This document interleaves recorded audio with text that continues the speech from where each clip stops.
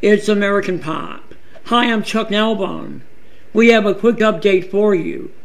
Since I can no longer leave you video links, what I'll do from now on is leave the actual video address underneath the video. All you have to do is copy and paste it into Google, and then you can watch the video. You got American Pop.